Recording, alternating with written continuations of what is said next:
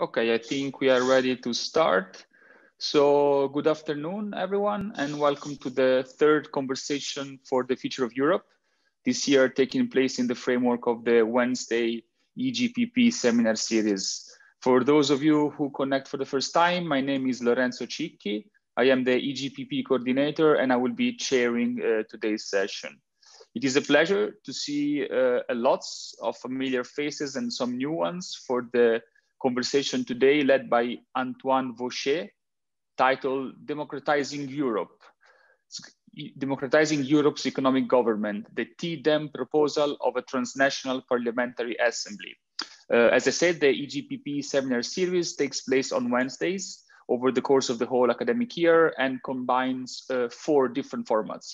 We have research seminars, book presentations, seminars of the European Union Studies Working Group led by PhD researchers, and finally, the conversations for the future of Europe, which is the case of today's session.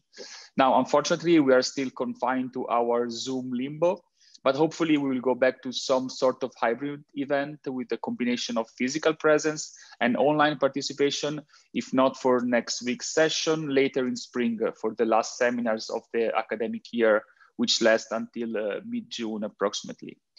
Now, for the introductory acknowledgement, first of all, I would like to thank Brigitte Laffan for involving me in the organization of the conversations last year, which has proven to be very much enriching and stimulating for me. And Daniele Caramani for hosting the conversation this year as a sort of a special event uh, uh of the EGPP uh, Brown Bag seminars. Then I would like to deeply thank Philip Van Parijs for his enthusiasm in co-organizing with me once again the conversation and I have to say, I very much look forward to finally do this again next year in person and possibly from the beautiful gardens of Villa Schifanoia. I also thank the speaker, Antoine Vauchez, and the discussants, Siyana Timcheva and Joachim Blatter for having immediately accepted our invitation. And finally, let me acknowledge the support from our admin and comms team, Martina and Sarah, for the virtual logistics of this event, which as usual is flawless. Now, before I move on to some more practical issues of format, timing, and technicalities, I leave the floor to Philippe, who will give some opening remarks, reinstating the spirit of the conversations, present today's topic, and introduce the panelists. Thank you, Philippe. The floor is yours. Okay, thank you, Lorenzo. And um, yes, first uh, about the spirit of the conversations, which holds in fact in uh, two maxims. The first one consists in saying, don't just analyze, don't just criticize, but stick your neck out, make proposals and subject them to a no nonsense uh, discussion. And maxim number two, be bold, don't hesitate to be bold. Uh, of course, political feasibility needs to be taken into account, but it's not a parameter. It's something that can be shaped by public discussion, including about bold proposals. Usually like to cite uh, in support of this view the end of Politik als Beruf uh, by Max Weber, but another sort of uh, quote in the same direction, which I also like to uh, cite is um, from uh, perhaps unexpected side, Friedrich Hayek, who in 1949 said, the main lesson which the true liberal must learn from the success of the socialists is that it was their courage to be utopian which gained them the support of the intellectuals and thereby an influence on public opinion which is daily making possible what only recently seemed utterly remote. So don't hesitate to be bold, don't hesitate to be utopian, bearing in mind political feasibility, but also the malleability, the, uh, the shapeability of um, political opinion and thereby of political feasibility. This will be illustrated today with the bold TDEM proposal, which um, uh, Antoine presented in one of his publications as a real democratic transplant at the heart of uh, the new European power bloc that um, is formed by the Eurozone and its uh, current uh, organization. I won't uh, say, I let uh, Antoine present that proposal, uh, in a minute. And I'll just quickly introduce the three uh, speakers who we uh, thank very much for having agreed to uh, introduce our discussion today. Uh, Antoine uh, Vauchez is currently Directeur de recherche at the CNRS, at the Centre Européen de Sociologie et Sciences Politiques, and he co-directs a master program on European public affairs at uh, Paris uh, Sorbonne, the University of Paris uh, Sorbonne. Um, before that, he uh, graduated from uh, Sciences Po in Paris, as holds master degrees in comparative politics and in public law from uh, the University of Paris Sorbonne is uh, uh, enfant de la maison uh, from the EUI because he took his doctorate at the European University Institute in 2000, having, after having spent a number of years uh, in Florence. Um, then he moved on to become uh, chercheur at the CNRS, but uh, returned to Florence to EUI for a, a, couple of years and also held uh, visiting uh, positions in uh, quite a few places, including recently in Copenhagen, Amsterdam, at, and in Italy at LUISS and at Bocconi. Among his publications, I'll just mention a book which uh, also published in English uh, later on, on uh, l'Union par le droit, l'invention d'un programme institutionnel pour l'Europe, but I shall mention uh, above all what is directly relevant uh, for uh, today's um, event. He published uh, a book um, with Le Seuil in France, also available in English, on Démocratiser l'Europe in 2014, which was no doubt one of the sources of inspiration of uh, what became then the TDEM proposal. And in 2016, uh, 17, together with Thomas Piketty, uh, Guillaume uh, Sacriste and Stéphanie Hennette, he published uh, in French Pour un traité de démocratisation de l'Europe. So uh, that's the TDEM proposal, published in several lang languages, and that became then also in 2019 um, a book published by Harvard University Press, but supplemented by a number of uh, critiques that were made of the proposals and also the rejoinder by uh, the authors. Again, um, so uh, Antoine wrote the, the, first chapter, but it's co-authored, the proposal is co-authored with Thomas Piketty, Guillaume Sacriste, and Stéphanie Hennette. So uh, is no doubt one of the main thinkers, if not the chief thinker behind the TDEM proposal, and so we are very uh, pleased to uh, welcome him in that uh, capacity. So as one of those who stick their necks out in order to make a proposal and to get it sh shot at uh, successfully or not by other people in order to improve it. Uh, next, uh, we'll have uh, Siyana Timcheva. So our concern also in these conversations all along has been to make room for young voices, for people who are still um, uh, at the PhD level, as uh, Siyana is. she took a bachelor degree from the University of National and World Economy in Sofia in um, 2012 then came uh, to uh, Switzerland, or went to Switzerland uh, to do um, master in comparative and international studies at the Federal Institute of Technology in Zurich.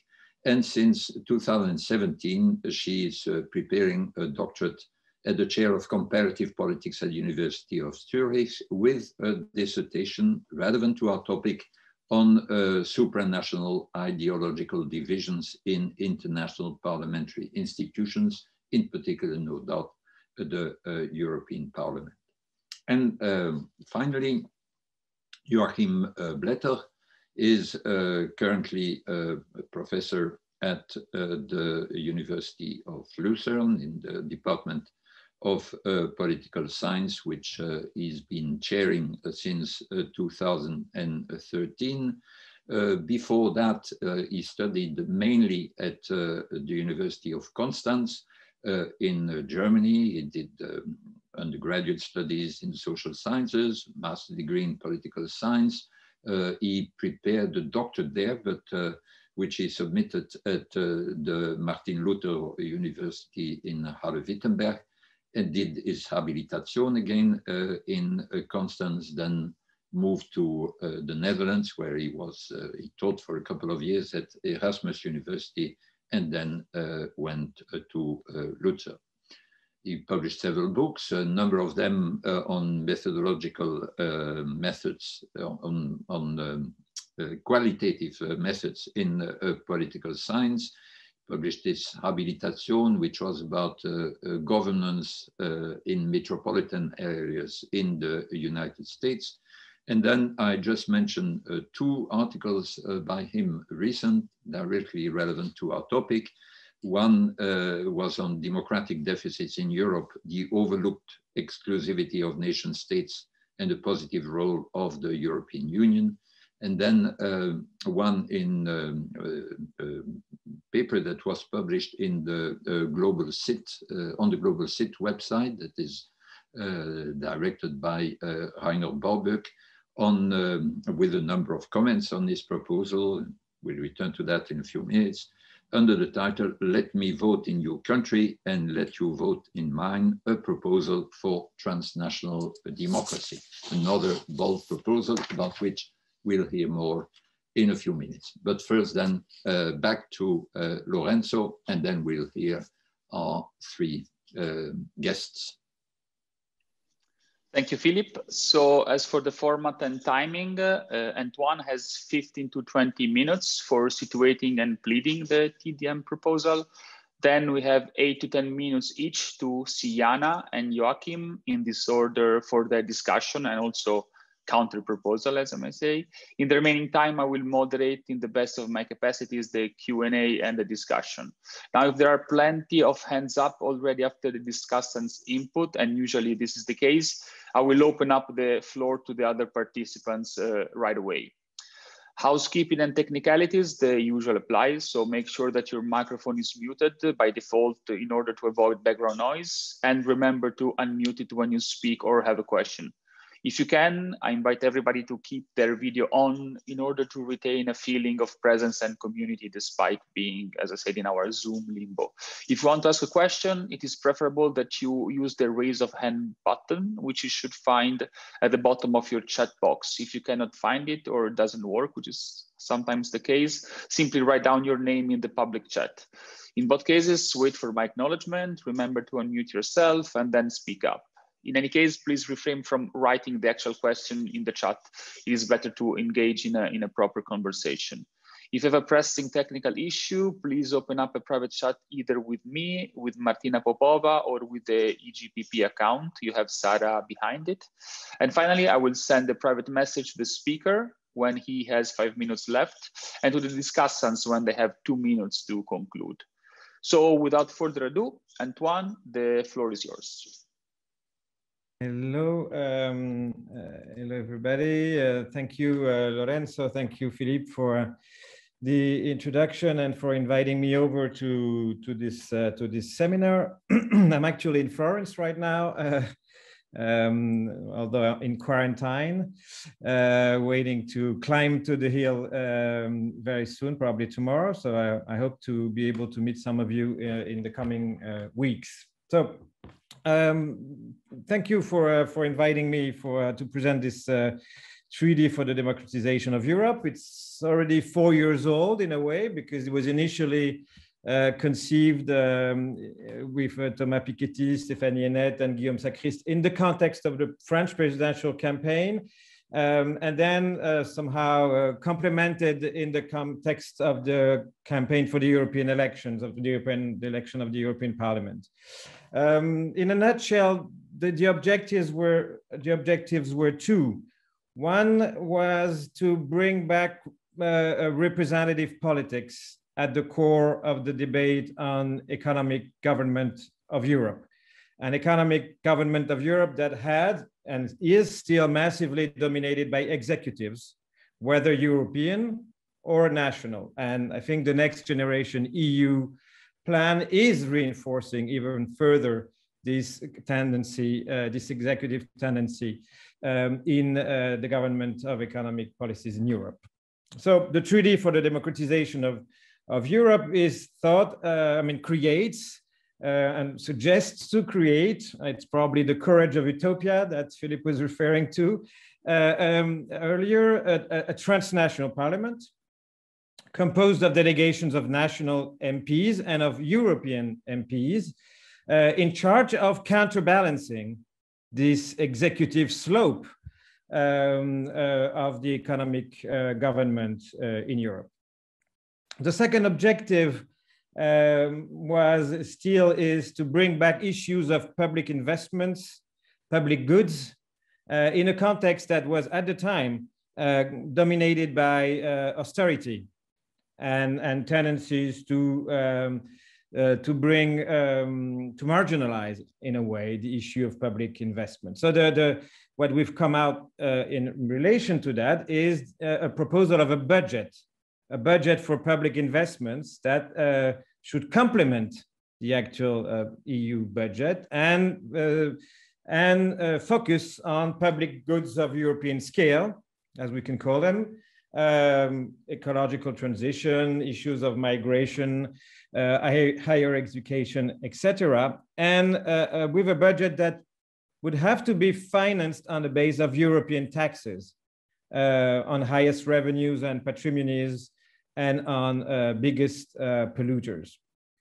Very briefly sketched. So, I mean, there we, have published some some books and and blogs and a number of articles explaining more in, in detail. What I would like to, to do today is uh, probably first uh, give elements on the general approach, how we somehow thought about framing the methodology, if you want, of uh, underlying the, the proposal, uh, the fabric of the proposal to a certain extent. A second point would be um, on our analysis of the context on which, in a way, the proposal is grounded. And third, uh, the expected political dynamics that we uh, I, that we think that such a treaty and a budget would actually trigger. So in terms of general approach, um, our methodology was uh, somehow to start from the, the, the constat uh, of the impasse of, of, the, of the current uh, debate on Europe, on the reform of European treaties. And this ever since, I would say, 2005, and you know the way uh, the constitutional project was halted. And ever since, the sort of a fear of reforming treaties, uh, fear uh, that is, of course, uh, based on the fact that it requires unanimity, it requires a long process of rewriting, um, and of debates. And in a way, the current difficulties of identifying what is the actual object of the conference for the future of Europe that started last week or yesterday um, is in part still the legacy of this difficulty of thinking about the reform of Europe ever since 2005. And uh, an important element of our proposal to move beyond the impasse um, is that this uh, treaty, uh, this budget could be somehow initiated by any group of countries, not necessarily by the 27 initially, but any group of countries that want to um, engage in public investments together and, and, and build uh, uh common taxes uh, um, at the transnational level um, would actually be able to trigger movement uh, that potentially could then progressively um, be of interest for other countries and initiate a sort of spillover effect. Um, so in a way, France and Germany have started, uh, but very modestly, when two years ago they have created uh, together a Franco-German parliament which has been existing for two or three years now, which meets twice a year. Of course, it has no powers. It doesn't draft a budget. Um, not to say, uh, um, you know, uh, raise taxes, but still, I think there is something of that. That you know, a couple of countries or more can actually initiate the process without just uh, uh, uh organizing a, a, um, a, sort of general conference uh, on the reform of, of, treaties that we know uh, would be uh, long and difficult and with a result that is quite um, uncertain. That's for the first element of method. Then on the format, um, against the, again, the courage of uh, being an utopian um, led us in a way uh, to come with uh, something that may look pretentious is to come out with a, a, a proposal of treaty and a proposal of budget. Um, but I think the idea is to avoid a discussion uh, on the reform of the EU that, that remains too abstract, that remains too vague commitment to the democratic governance uh, or um, other sort of vague terms or double discourses on European issues. And the advantage of drafting a treaty and drafting a budget is that somehow you position yourself in two critical debates. The first debate is about distribution of power, horizontal or vertical distribution of power, and somehow you position, you know, how you view, uh, you know, the position, for example, of, of, of representative democracy in the governance uh, of uh, economic policies. And then on a second axis, which of course is the, the axis of redistribution of wealth, which is another critical axis um, with the budget, because the budget, of course, is something in terms of policy priorities and in terms of taxing, and of course, who are the social or the classes that uh, um, would have to be uh, taxed uh, um, in, um, more or less. So that, that was the idea of the format. And um, the, the, second idea relatedly was to connect debates on policies and debates on institutions. I think uh, too, most often the, the two discussions are quite disconnected. Most often we have, particularly on economic governance, we have the economists that are, you know, come out with a lot of ideas on how to fix the euro and how to fix the eurozone and engineering a number of um, you know how it is suboptimal and how it could be made uh, optimal. But there remain very technocratic uh, debates and apolitical in a way. Um, and on the other side there's a whole debate on institutional engineering um, but it's also often on a separate play, plane than the issue of policies. And uh, you know with uh, with the idea of finding magic bullets that would actually change the equilibrium of uh, EU institutions, but in a way uh, uh, somehow unconnected to issues of of, of, policies. And I think this is why it was useful to be together with economists and lawyers and political scientists all together because in a way that made it possible because I like the technicity on economic issues and I guess Thomas Piketty lacks the technicity on uh, issues of, uh, of political institutions in, in the context of the EU. And, and, and I think uh, uh, the, the, interdisciplinarity of the project uh, is, is, in my mind, key in, in, in what we've been trying to do. that is for the, the first point on the methodology in general. The second point, in what sort of diagnosis do we have or on which we are granting our proposal?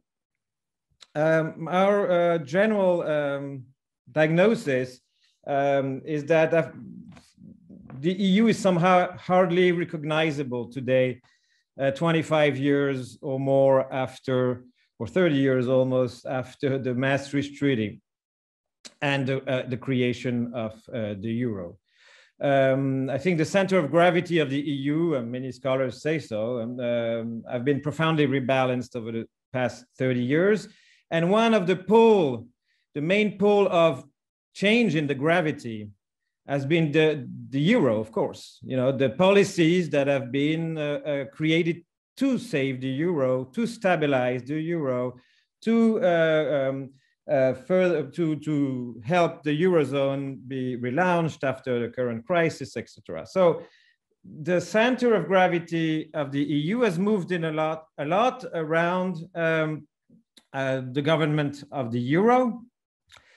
And uh, in the name of the government of the stability of the euro, uh, as you know, a number of uh, treaties, policies have piled up in a way and particularly to face the crisis over the past 15 years. And what is uh, emerging in a way of the European semester, of the Stability Pact, uh, of uh, even the banking union, and, and even the next generation EU plan, what is emerging in a way, I think, is uh, what we call a European government of national economic policies. Uh, that is uh, a set of instruments that are uh, aim that aim at um, uh, the coordination, the surveillance, uh, and in some cases the sanction of uh, the, the policies of national governments um, vis-a-vis -vis the economic objectives of the euro. Um, and one of the characteristic, of course, of this European government of national economic policies is that it has a lot of effects on national social and fiscal pacts.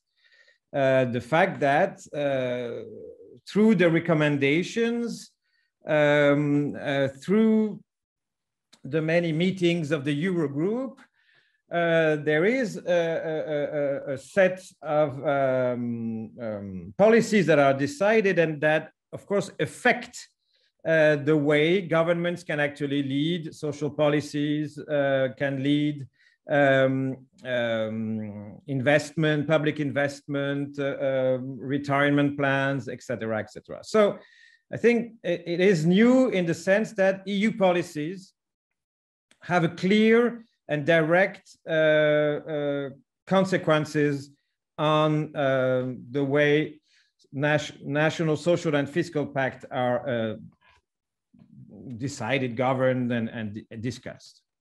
Um, and, and, and, a, and, and, a, third element of this new government um, is that it developed somewhere in between the European and the national. It combines elements of supranationality and elements of intergovernmentalism.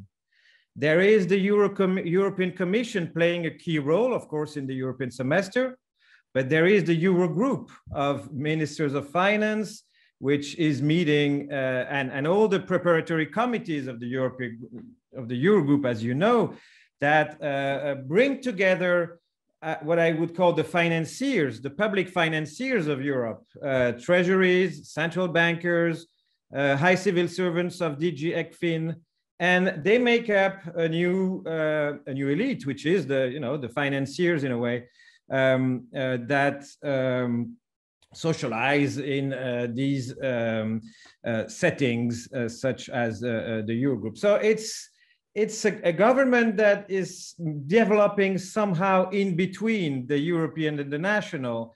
Um, some could call it transnational, but it has a common point. It has a, it has a, a, a characteristic, which is that it develops in large part at good distance from parliaments from all parliaments, European or national. Um, and it's somehow it's not it's, it's actually very difficult for parliaments to position themselves in uh, this uh, new context uh, uh even for the next generation eu plan you know the, there's a sort of dialogue uh, between the european parliament um, and uh, um, and the, the, the, the council and the european commission but but there but there is little capacity for, for parliaments to actually decide or co-decide or veto or sanction or, or actually uh, um, really uh, transform uh, the plan uh, itself. And it's the same, of course, for national uh, parliaments, which somehow uh, intervene often too late and are consulted essentially.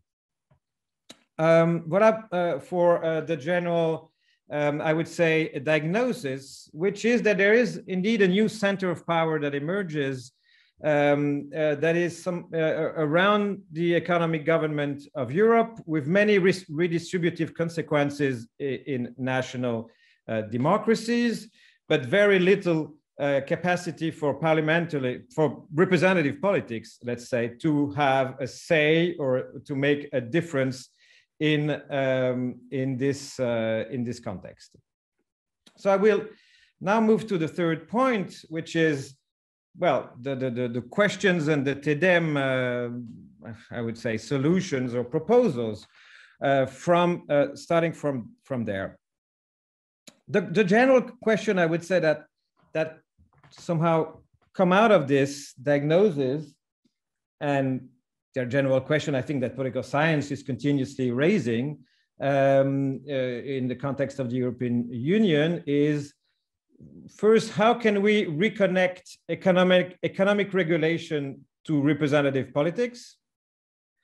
Um, second, relatedly, how can we democratize this intermediary sphere where most intermediary, I mean in between uh, the EU and, and the national, this intermediary sphere, to quote Luc van Middelaar, that's his term actually, uh, where most of Europe's economic government is now developing.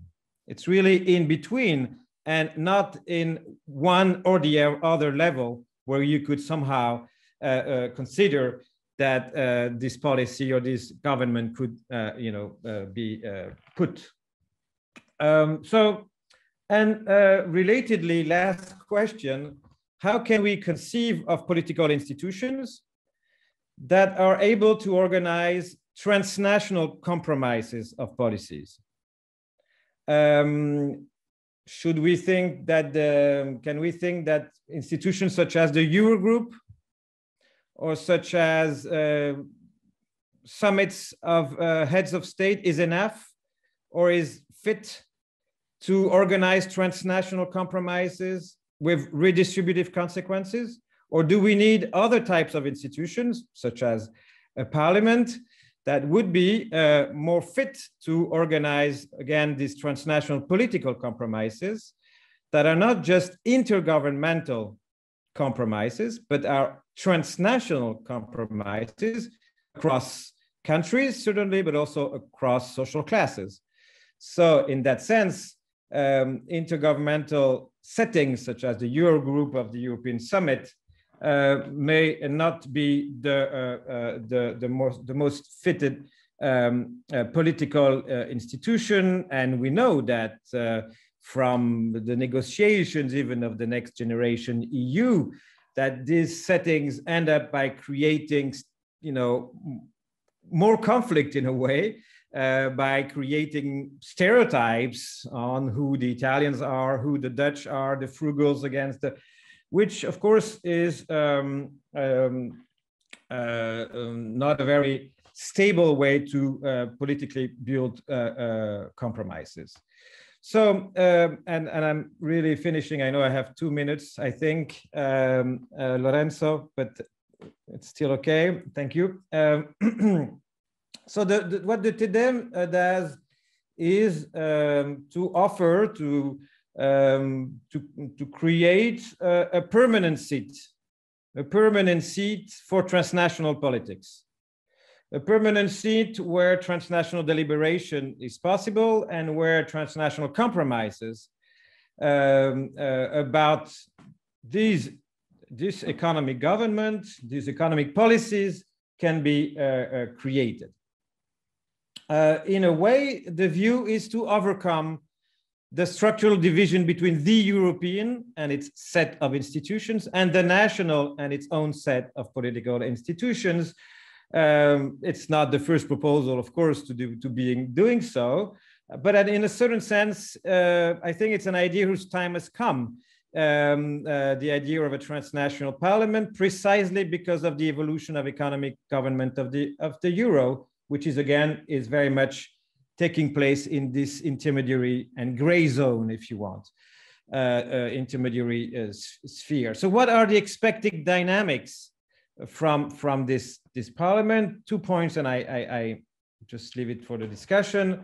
Um, one, one of the expected dynamics is that it would allow um, um, na national parliamentary elections to turn into European elections at the same time, because when you would designate national MPs who would take part to the transnational assembly, then you would de designate MPs that somehow would uh, also participate to the, the, to the decision on, on European policy. So in a way, The idea is to scale up uh, national representative politics uh, by um, uh, uh, forcing it into uh, debating Europe.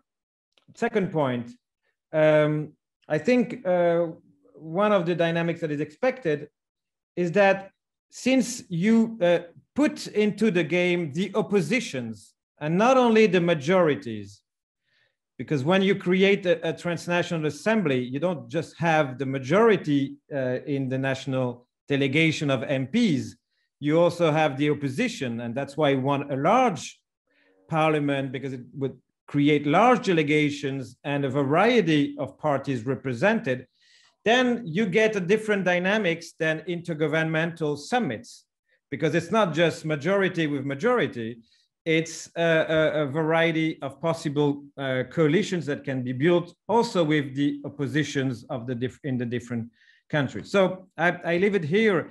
Again, uh, it's, it's also a reflection on, on the structure of European parliamentarism and, uh, and, and a way maybe to, again, overcome um, the, the, the, the, ritual, the traditional opposition between uh, the institutions of the national and the institutions of the European, which in a way are not fit with, for the, with the, the current uh, challenge.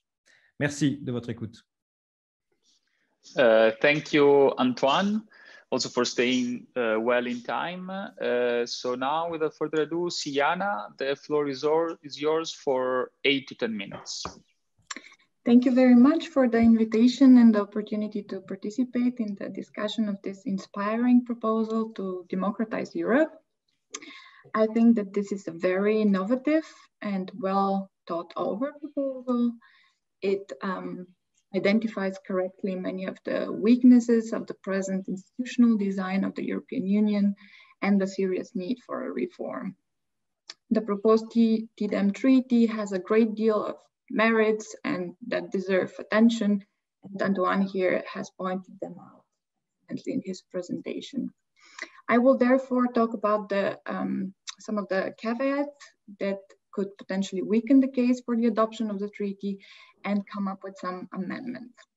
I'm going to discuss the proposed institutional design of the Transnational European Assembly and the possible implications of that institutional design. And in my discussion, I will also concentrate on both um, normative and practical aspects of the proposal. So my first concern is about the adoption of the treaty. On the one hand, its purpose is to weaken or at least counterbalance the executive and national alignments by creating a legislative body. On the other hand, it is actually the member states that have to approve its adoption and in this way give up some of their powers in a domain where national sovereignty has prevailed. And I think that in order for the treaty to be adopted, pressure should actually come not just from the general public or from academia, but from the national parliaments themselves. Only if there is enough political will coming from the national parliaments for such a project, there could be a chance, for the proposal to be adopted. Um, it would require a lot of coordinated efforts between national parliaments and therefore uh, my first suggestion would be strengthening the institutions for interparliamentary dialogue between the national parliaments um, as the first necessary step before the creation of such a transnational assembly. Second, although I agree that national parliaments have to be involved more in European level uh, decision making, creating an assembly with the majority of the MPs delegated indirectly from national parliaments is sort of a step back instead of a step forward. We basically had such an assembly before the introduction of direct elections in 79. And the lessons, the main lessons learned from that experience are First, double mandates are not effective, and we cannot expect an MP to be equally involved on the domestic and the European front. And second, indirect elections create a serious legitimacy concern. In general, indirect elections are for powerless and purely consultative um, international parliaments, whereas the transnational assembly would dispose of significant redistributive powers. My third argument is about the duration of the national parliamentarians' mandate. It is not specified in the treaty how long that ma mandate would be. Will there be new national delegations following each national election? If that is the case, this would mean a very high turnover of national MPs, which in turn will make the cooperation within the assembly even harder to achieve. The two types of MPs, the national and the European ones, won't have enough opportunities to interact, to socialize with each other, and to develop supranational thinking and alignments, um, common purpose, if you will. So given that we already know that there is hostility between national parliaments and the European Parliament, how can we expect representatives from these institutions to suddenly cooperate? Which brings me to my fourth argument. Um, the TDEM treaty also does not specify how many sessions the Transnational Assembly will hold. It appears that it is going to be a sort of an ad hoc assembly with a very limited scope, but at the same time immensely important task, namely the adoption of a budget that is four times larger than the current EU budget. So I wonder from where the new transnational European Assembly would derive its legitimacy. I imagine that it would be even less popular among the general public than the European Parliament, considering that the European Parliament exists for 70 years now, and despite the many efforts to popularize it, uh, most people are not interested in it and don't know about the way it functions. So if this transnational assembly exists for a single purpose, but yet yields such immense power as the redistribution of such substantial resources, realistically, the chances are very low uh, for the proposal to see the light of the day as it is right now. Another concern I had um, is the number, the number of parliamentarians. Um, the proposed assembly has 400 members, and that's a rather low number for a supranational parliament that in the best case scenario would represent 500 million people. Um, in most, it most probably also means that not all parliamentary represented national parties can send parliamentarians to the assembly, which can be very problematic, democratically speaking. Um, moreover, if the rule is strictly proportional, proportional representation as the TDEM treaty stipulates, um, instead of digressive representation, this would mean that small states would be greatly underrepresented, which will uh, in turn lead them to have even less incentives to join the assembly. And finally, and most importantly, um, the TDEM proposal seems to assume that national parliamentarians will, first of all, have the European interest instead of the narrow national interest at heart.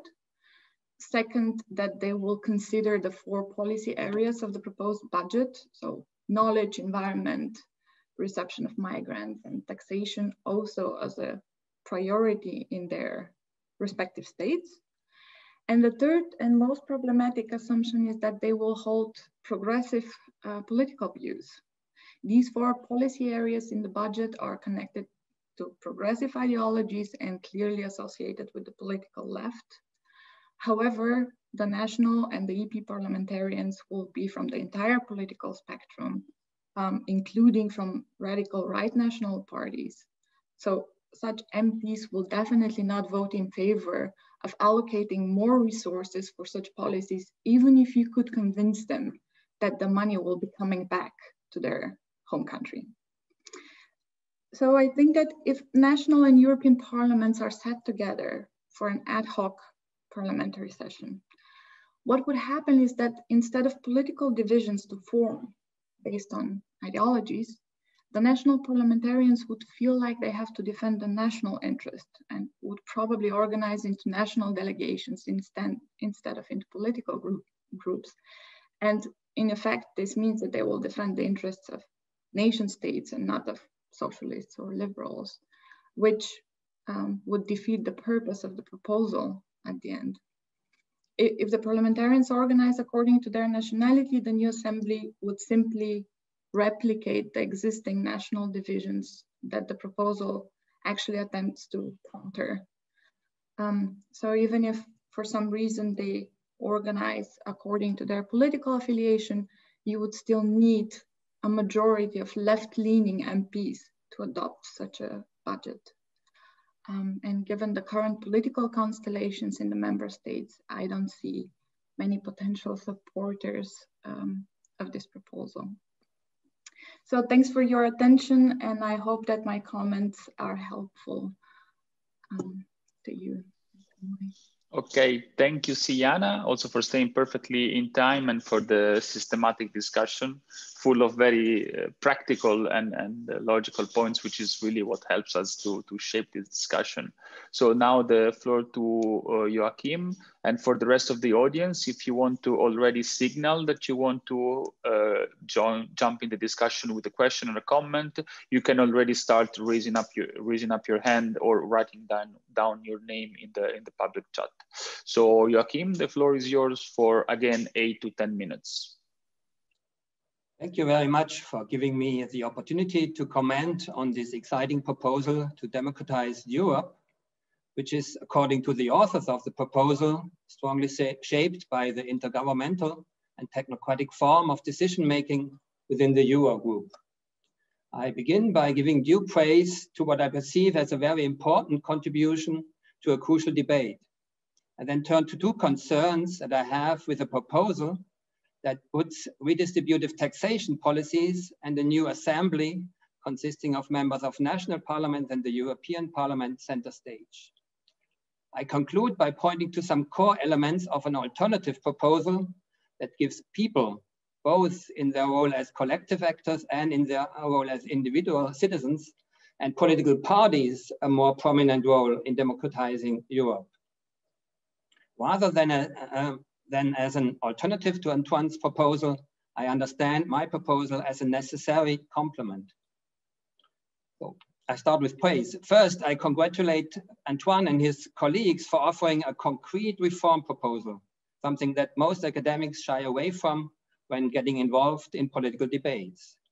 The proposal is secondly very clear and spe specifies the policy instruments and the institutions that are supposed to democratize Europe, or more precisely, the Euro governance structure. Next, I see it as a big advantage that the proposal builds on existing institutions and that vanguard countries could start implementing it without requiring a full-fledged treaty reform. Furthermore, I fully agree with the claim that we have to overcome the national framing of distributional and redistributional issue that is a consequence of the dominant intergovernmental form of governance in Europe and that we have to stimulate political debates which focus on the right levels and means of distribution, redistribution between individuals, social groups, economic cooperation classes. Finally, in contrast to very fashionable ideas to install new kinds of representative institutions, think about Emmanuel Macron's uh, proposal to replicate the citizen assembly idea on the European level, I very much applaud that the proposal builds on existing representative institutions, national parliaments and the EU parliament. There are many reasons for such a stance. The main reason being that parliaments, in contrast to citizen assemblies, have important function concerning both democratic will formation and democratic decision making, thereby linking these two core functions to democratic in democratic processes. As much as I agree with some of the central tenets, I would like to point to two problems. The first problem has to do with the proposal's focus on distributional issues, redistribution, and its relative ignorance of issues of recognition. This becomes clear to, just, to give just one example on how the issue of migration is portrayed. Migrants, in contrast to what the proposal implies, are not primarily, primarily perceived and debated as a financial burden, Public discourse in most countries frame migration primarily as a threat to established cultures and to the in-groups of domestic labor markets.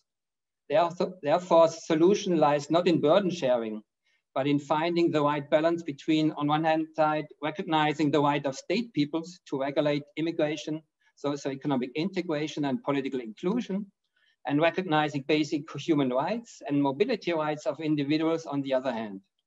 Furthermore, the EU must accept, and to a certain degree uh, at least, um, that the search for the right balance ends up in different regulations across its member states. Second, I understand the institutional core of the proposal as an acknowledgement that in the EU, we have to recognize two different kinds of principles, the individual persons, the, the Europeans, and collective state peoples, the nations. This insight acts as the argumentative ground for conceptualizing the European Assembly as a mix between members of the EU Parliament and members of national parliaments. Nevertheless, as much as I praise that such a new assembly would build on existing parliaments, I have strong doubts whether it would really be able to fulfill the envisioned function, the reconnecting the rulers and the ruled within the European multi-level system. First and foremost, I fear that it would, it would be very easy for populists to portray it as another form of a transnational collusion among political elites. Furthermore, and here I build on what has been said just before, as long as the national parliaments and parties are accountable only to national constituencies, it is very likely that their inclusion in an envisioned European assembly leads to a structuration of political conflicts and cleavages that is closer to the national framings that dominate within the institutions of executive intergovernmentalism than to the competition between ide ideological camps and party families that has taken root in the European Parliament.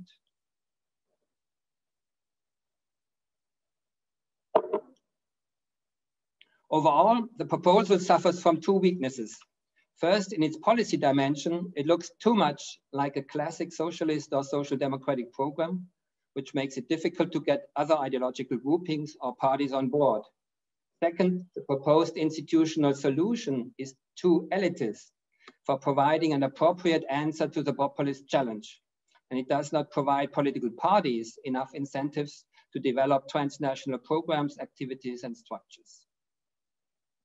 In order to overcome these problems, an alternative solution might be expedient.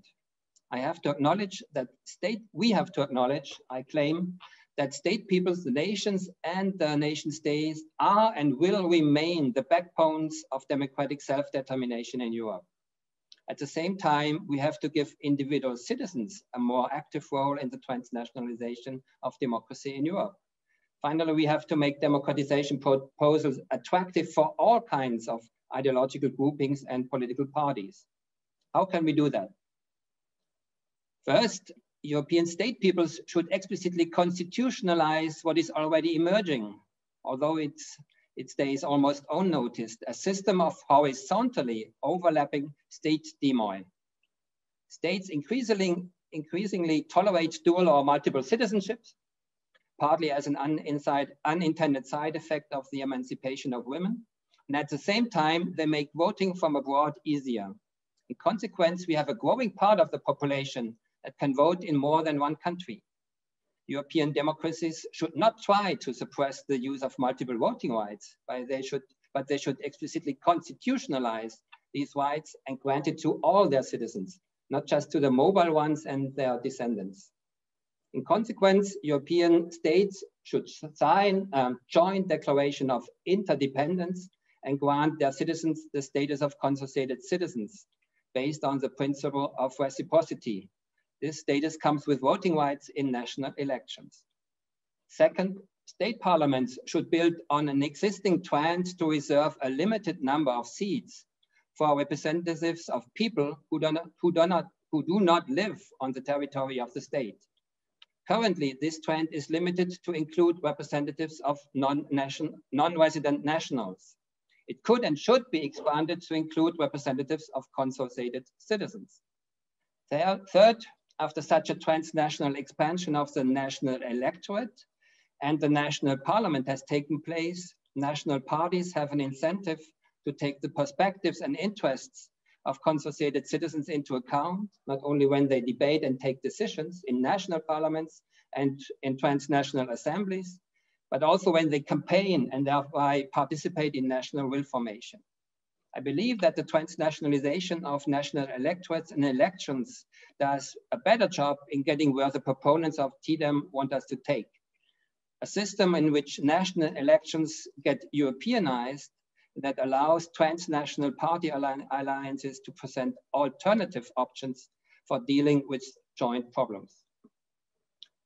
My proposal has the same advantages as the TDEM proposal. A few vanguard states could start implementing it without uh, requiring a treaty reform. Like the TDEM proposal, it builds on existing forms of representation. Nevertheless, it is based on, re on recent transformations of state demo and parliamentarian representations, and not on a problematization of an important transform transformation of European governance. Therefore, I would perceive the two proposals as complementary. Nevertheless, for a stimulating debate, we might not only focus on the different backgrounds, but also on the different visions that are implied by these two quite concrete proposals. Thank you very much for your attention. Uh, thank you, Joachim, for managing to squeeze in less than 10 minutes uh, your intervention with the double hat of the discussant and also the uh, alternative uh, proposal uh, that you just uh, delineated. So uh, I would say let's get already to the discussion. Let's open up the floor for discussion and we'll get uh, a couple of intervention. The first one from Philippe Van Parijs and the second from Elie Michel. And then after that, we will go back first to Antoine and then possibly also to the, to the other panelists if some of the interventions also refer to the, the second alternative proposal by uh, Joachim. But thank you very much already to the panelists for the great start of the discussion. Uh, Philip, the floor is yours. Yes, thank you very much for this uh, very stimulating input from all three of you. Um, I'll have a, a, substantive question, but which can be handled at, at a later stage, which uh, I would be interested in having the reaction of each of the three panelists to another idea, which is the idea of the now familiar of the transnational lists. So the EU-wide constituency defended, for example, by Alberto Alemanno, who was one of our speakers last time. So each of you may have a, a strong view on that. It would be interesting to throw it into the debate. But my, my urgent uh, question is uh, uh really for uh, Antoine, if uh, you could then, um, as a prelude to answering in particular to uh, Siyana's very uh, good series of uh, questions, uh, if you could specify, be a bit more precise about uh, the, the proposal as a reminder for all of us, that is, um, namely, how many at this stage, maybe you've changed your view since the initial proposal, so how many national parliamentarians would join uh, the, uh, the Euro MPs to form this uh, assembly? Uh, then uh, how would that be chosen by each, uh, within each of the national parliaments?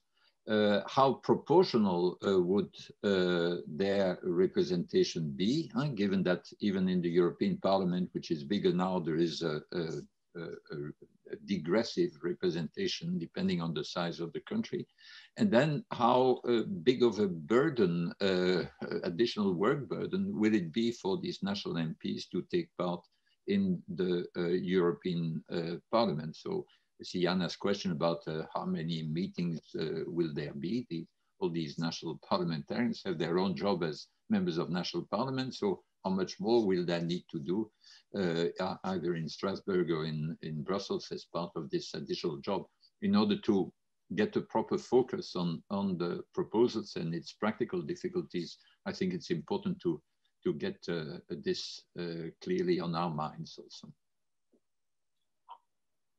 Okay, thank you, uh, Philip. Elie? Yes, thank you. Thanks a lot for the for the great talk and the, the proposal in itself. And I have a question that uh, also seems to be, I mean, following the, the previous question that seems to be of, of interest to, to most people, the idea of elections or at least the selection process uh, for this uh, this assembly. And and I think it's a point that that Siyana made, and, and I'd like to come back to it, which is the how problematic indirect elections uh, can be. Um, and I understand that the, the TDEM proposal has an ambition of, of sort of citizen empowerment, uh, but, and as Joachim said, like reconciling the ruled and the rulers is uh, maybe not uh, best done through indirect elections. So if I understand the, the process as you describe it, the you turn national elections into European elections because you would be voting for both at the same time. You would be voting both for your national parliament and for um, this uh, Euro assembly at the same time. Now, I would say that that's probably a, a, in a way disappointing because you would want to have transnational accountability for uh, transnational governance. If you have a transnational governance level, you would, and that would be also going, I think, in the lines of, of what Joachim uh, says, that you need a transnational uh, uh body of citizens then to uh, be to make accountable democratic body, an elected democratic body. So really, the the um, the question there would be by doing this, are would you not even be making sort of European level elections even more second order than European elections already are, where European elections are already, we know, just a reflection of the national mood that is having, you know, um, uh, individual European elections separated from national processes. And then by making it just the follow-up of national elections, isn't there a risk that it becomes an even more, uh, yeah, even more second order and then even less, um, uh, you know, decreasing accountability processes uh, between the, the governing structures and, and, citizens? Thanks. Okay, thank you, uh, Eli. I have already some other question, but maybe we have enough already uh, food for uh, discussion. So let's go back to Antoine. And after that, maybe we will collect two questions from Adrienne Héritier and Calypso. And then we will go back to again to the panelists and maybe include what also uh, Philip has suggested as, a, let's say, the third alternative proposal and have a round of discussions also with the uh, two discussants. So Antoine, back to you. Okay, well, thank you uh, for all the the difficult questions, and um, I'm not sure I will be able to answer all of them. Also, because uh, to some extent, um,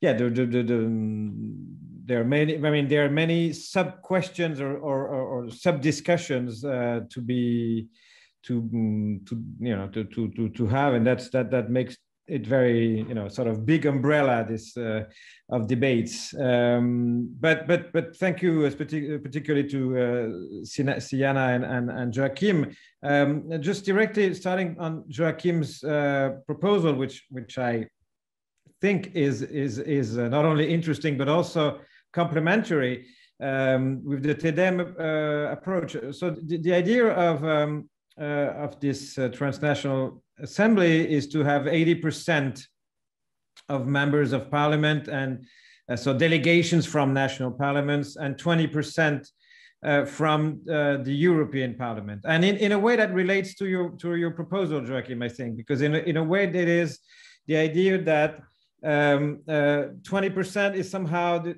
also the part of European society that is uh, binational or mobile or uh, somehow Europeanized.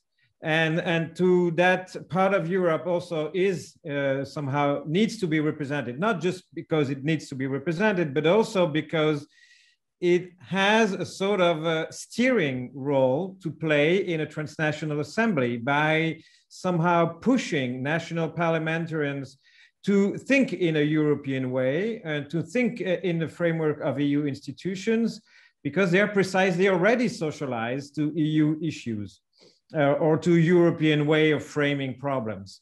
So, I mean, the idea of having uh, this 20% is not just a sort of, you know, um, just a guess. I think it corresponds to a share of European society to, in a way, and it corresponds to a specific ability that members of the European Parliament have in framing uh, issues in terms of, of, um, of European uh, issues.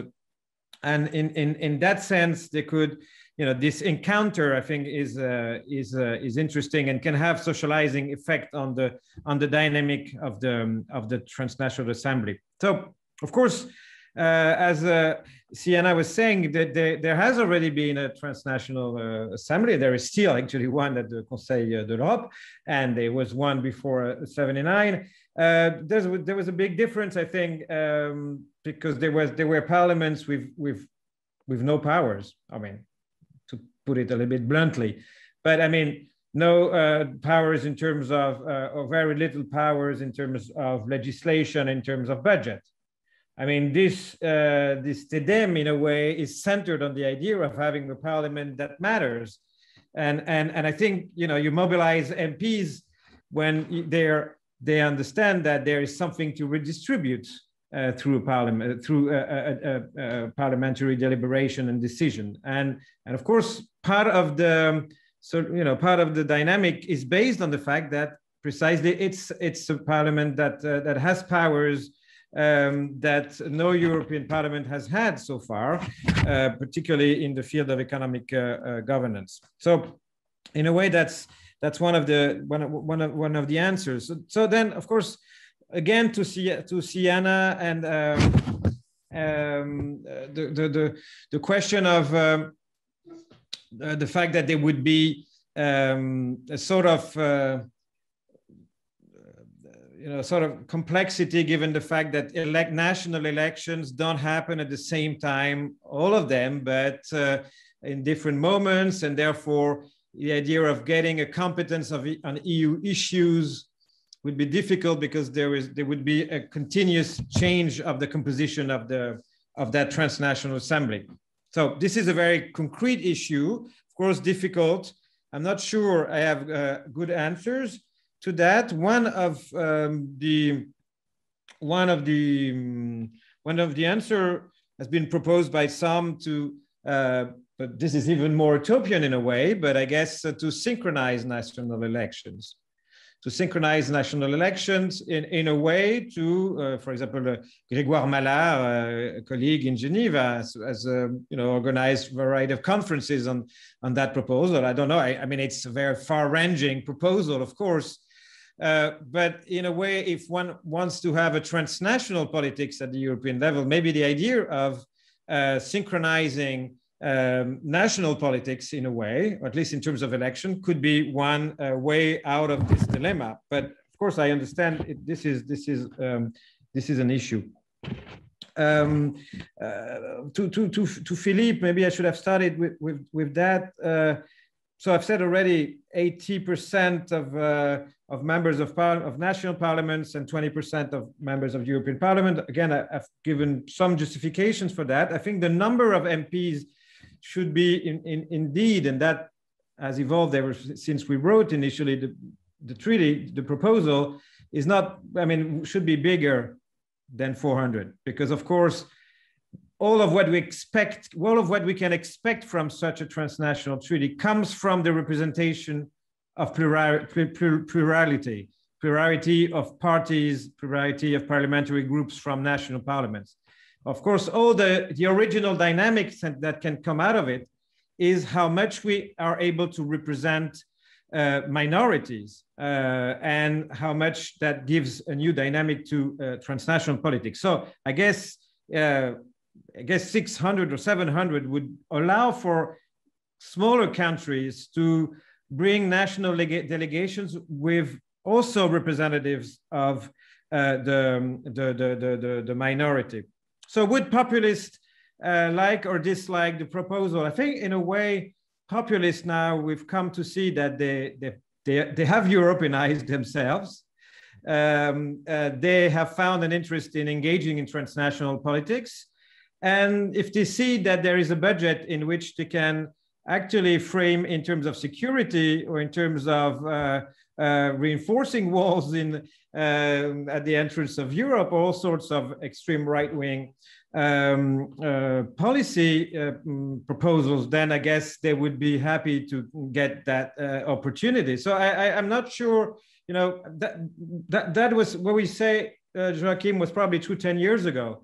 But the way populists have now engaged in transnational politics and in the European Parliament as well makes me think that they would easily, you know, play the rule uh, of of this uh, of this um, of this Parliament. But I don't want to be too long, so uh, and sorry if I didn't understand or uh, didn't answer all the questions. Merci. Uh, thank you, Antoine. Uh, yeah, we are moving fast toward the, the, the, end of the seminar. So we have another round of questions. We group them by three. So in this order, first Adrienne, then uh, Calypso, and finally Anya, and then go back to the other side of the table. Uh, Adrienne. Yeah, thank you very much, uh, Antoine. I very much agree with you with your overall analysis that with the economic governance, Eurozone crisis governments, uh, there has been this kind of executive centralization tendency at the supranational level and also at the national level to some extent. And therefore, there should be what you said at the beginning, bring back representative politics in a way. And in the direction in which you think now with this transnational assembly, I think is an important direction in which to, uh, to think. But the problems have been now uh, discussed and highlighted in the past recent discussion here. And I also see this problem of micro incentives of uh, parliamentarians which are elected at the national level. But this issue has already been raised. So I would like to raise a second question, which uh, where you talk about these new budgets, which can be formed for public investments, for public goods.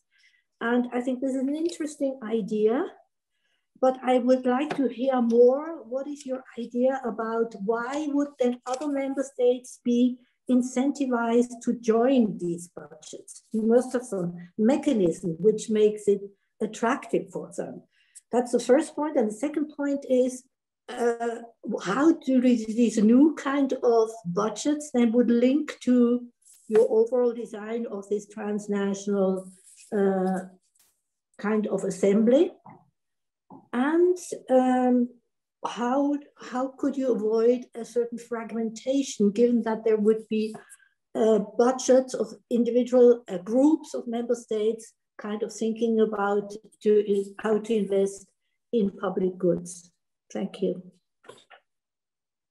Uh, thank you, Adrienne. Calypso.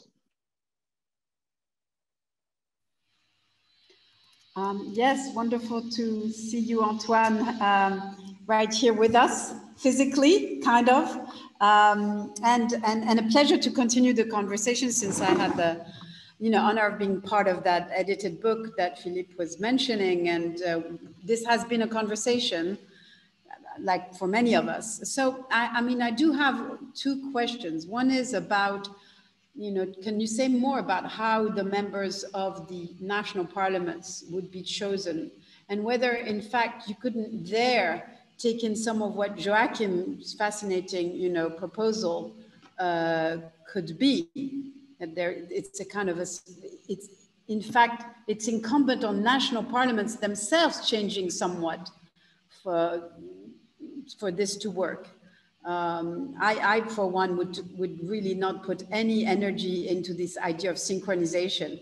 It's an old hat. We've been discussing it forever. It's not just that it's not feasible. I don't even think it's desirable. It's too centralizing. But okay, so there's this one question about national parliaments. And the second is more important to me these days. I mean, in this very forum with, with Philip and, and, and, and all others, we've been discussing you know, what's going on now with the Conference on the Future of Europe, where the opposition is not just between executive and parliaments. And by the way, both of those are part of representative democracy, but uh, in different ways. So I'm not sure why you reserve the term representative to the parliaments. So it's parliamentary versus executive, I would say. But of course, we do live in a new era these days where the kind of the contrast that is drawn is between representative democracy overall, executive plus parliament versus participatory democracy.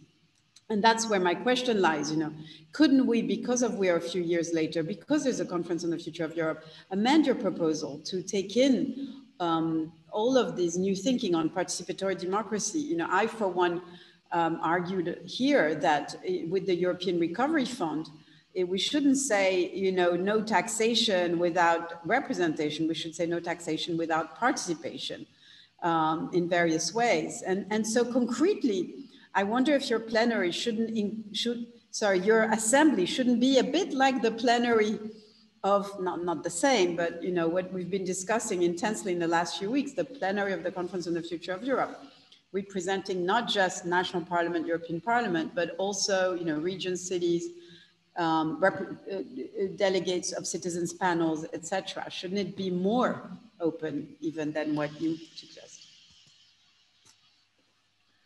Thank you, Calypso. Uh, Anya.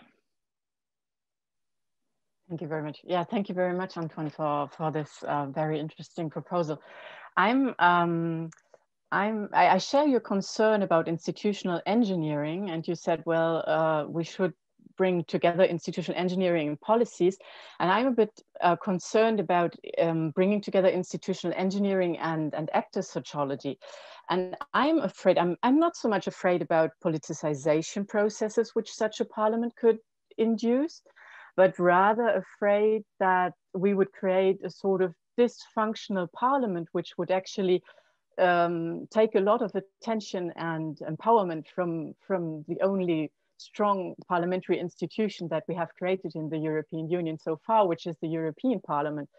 And I think um, that actually such a parliamentary um, assembly would create even an even stronger executive federalism as uh, like the German uh, MPs like uh, to call it.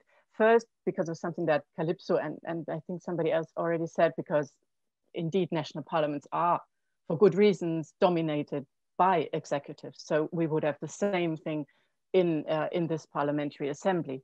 And then uh, national parliaments actually fulfill quite different functions in the different parliamentary systems and, uh, and, and MPs see their role for democracy in a very different way in different parliaments. And we can see that when we have a look at the creation processes of the interparliamentary assemblies that we already have, because they have big difficulties to come up with uh, with rules of procedure. They are very slow in, in coming together.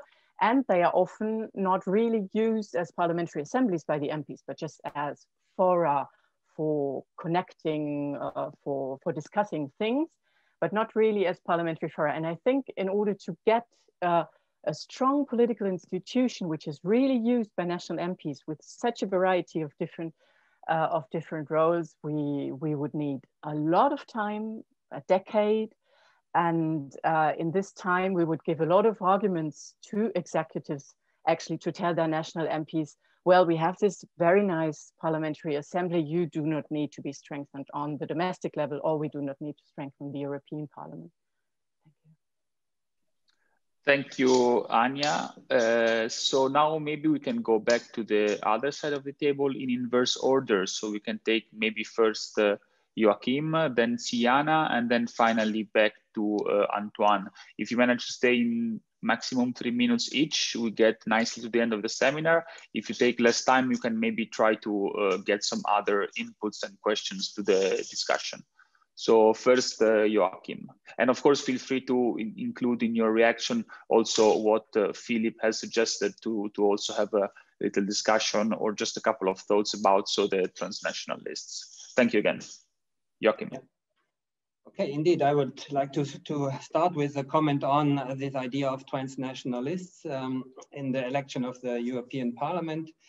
I'm um, clearly in favor of, uh, of um, providing also a, a, kind of a, a dual logic in, uh, in the European Parliament that uh, some uh, representatives are elected on a national basis in a way, and some are elected on, um, yeah, uh, um, European basis on in a on a transnational constituency uh, level. But I'm concerned with the idea, or what makes what concerns me is is the term transnational lists.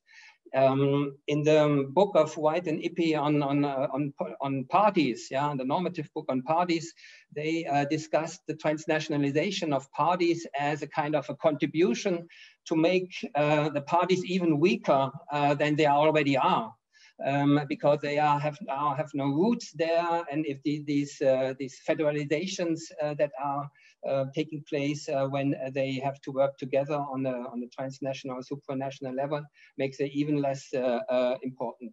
And for me, the main concern or the main drive of my approach is uh, that I'm very much concerned with intermediary organizations. I don't dare, I don't care much about the debate on the European demo or demos.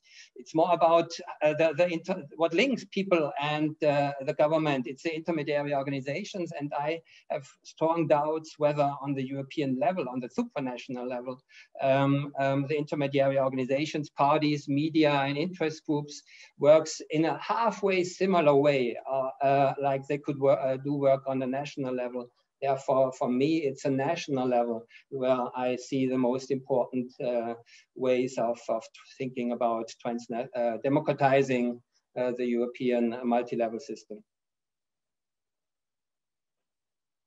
Okay, thank you, uh, Joachim. Uh, Siyana.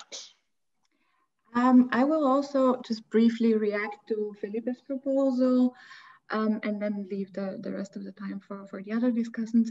Um, but I really think that the idea of EU constituency list, list is really has an immense potential and would be probably my most preferred option for uh, democratizing the European Union. Um, only in this way we could introduce truly transnational representation along political, functional, instead of um, territorial lines.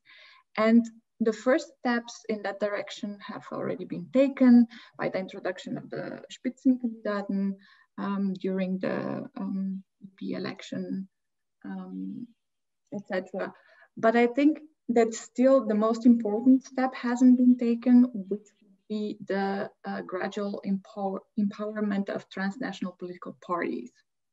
The whole, um, the, the emphasis now falls on the transnational political groups within the European Parliament, whereas the, the transnational political parties are just umbrella organizations without uh, much power and influence. And I think that we should actually start there before introducing the, the, constituent, the EU constituency lists, we should empower transnational political parties.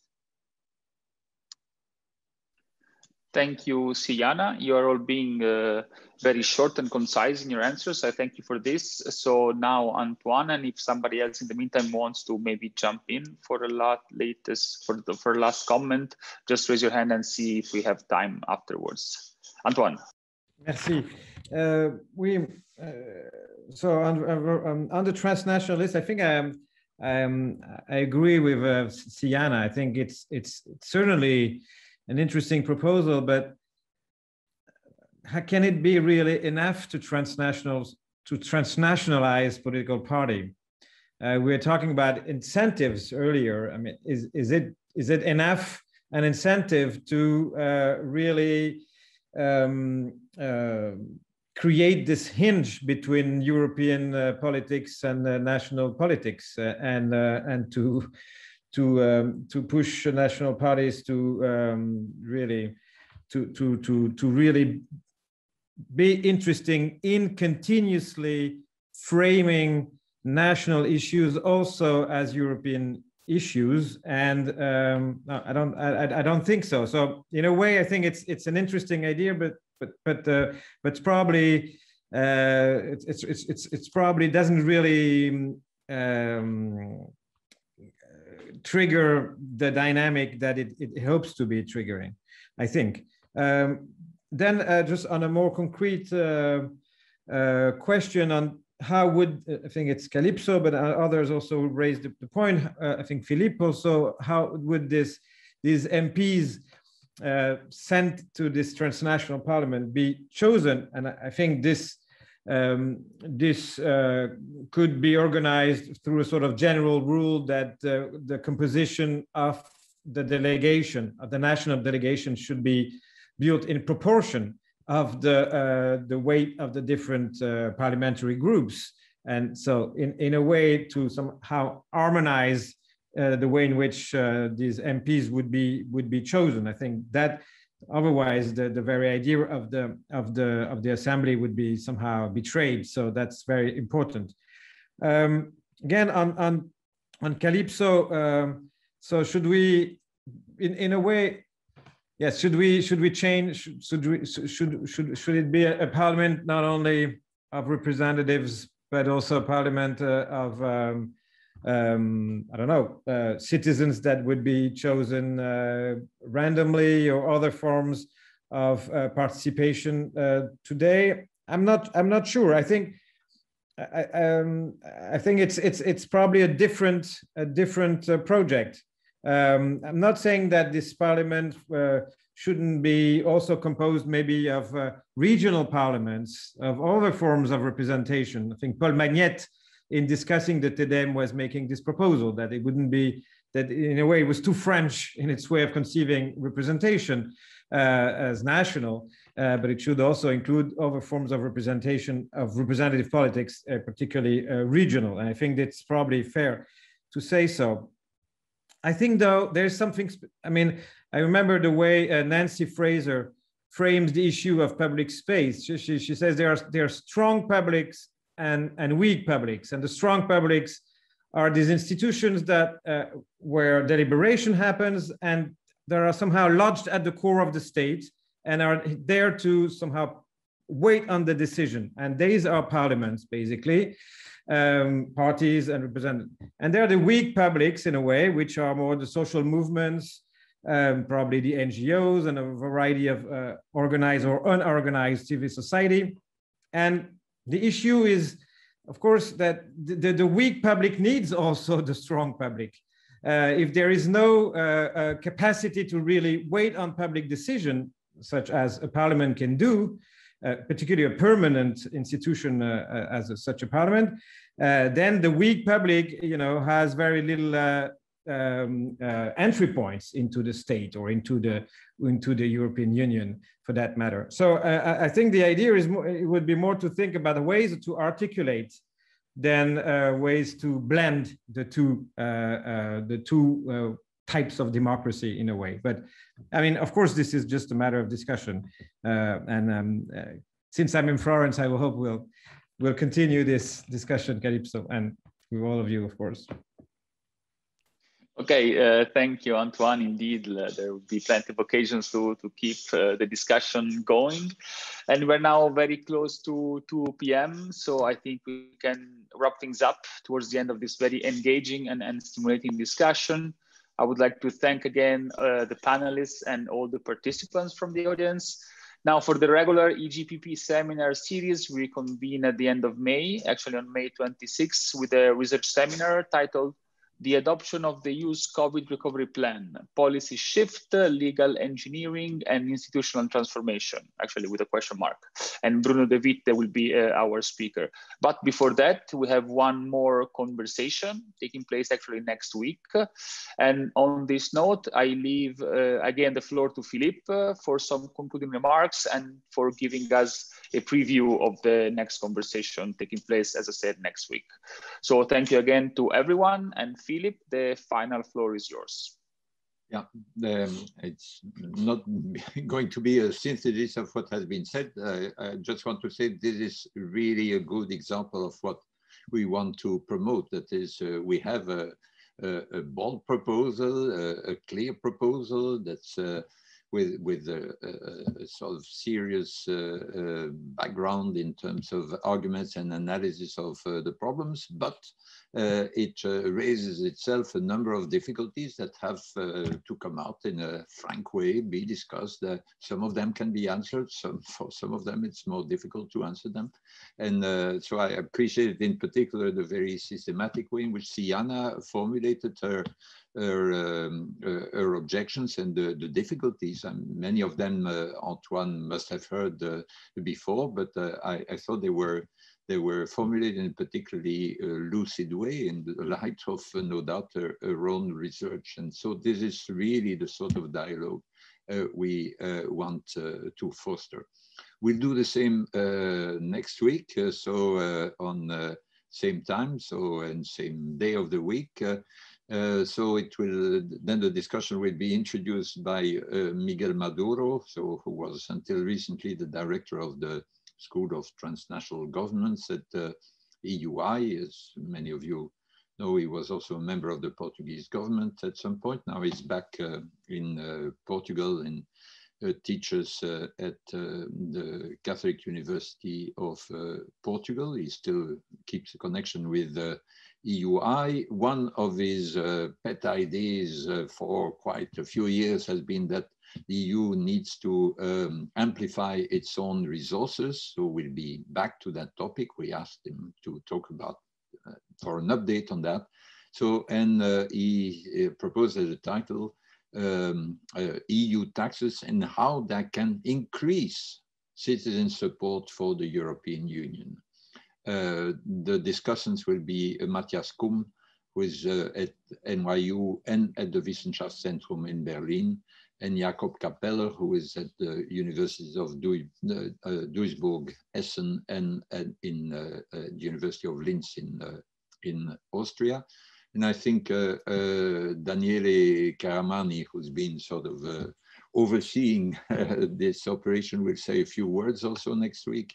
And, uh, and so will, I think, uh, Brigid Laffan, who, as I mentioned before, was also at the origin of uh, this whole initiative. So thank you very much to um, our three uh, speakers, uh, to Lorenzo as uh, usual, to Martina and to Sarah for all the organization and see you next week.